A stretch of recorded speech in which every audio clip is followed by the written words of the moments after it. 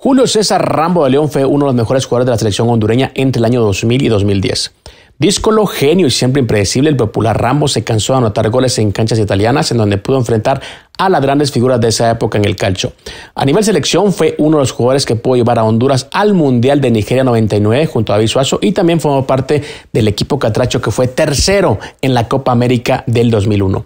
Pero aunque siempre estuvo en la mente de los seleccionadores en turno, su presunta indisciplina le jugó siempre en contra.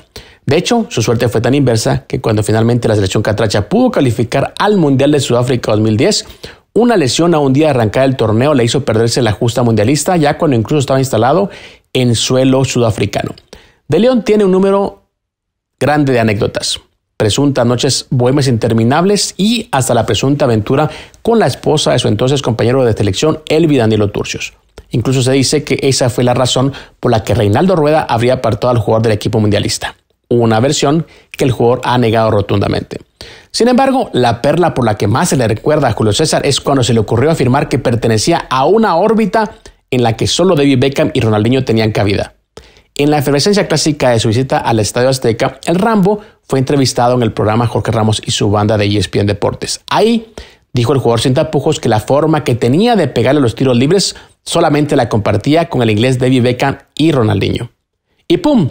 Ramo marcó un golazo de tiro libre en el Azteca que aunque no sirvió para alcanzar la victoria, ya que México remontó, sí le hizo ganarse el reconocimiento como uno de los mejores corredores de tiro libres en la CONCACAF.